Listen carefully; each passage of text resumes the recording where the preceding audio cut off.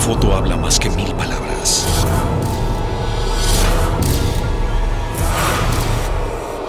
Como esta. Ellos parecen ser grandes amigos, pero las apariencias engañan. Nunca me vas a perdonar por lo que pasó, ¿verdad? ¿Y tú qué crees? Piedad es de carne y hueso. Tú la heriste, y de la peor manera. Así son las fotografías. Algunas muestran el lado hermoso de la vida. Y otras, el lado que nadie quiere ver. ¿Encontraste huellas?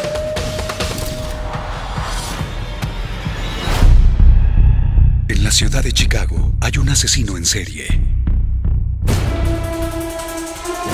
No sabemos quién es. Y lo más terrible, todos podrían ser víctimas. De los creadores de Elisa, Alguien te mira. Estrena el 7 de septiembre a las 10.09 centro.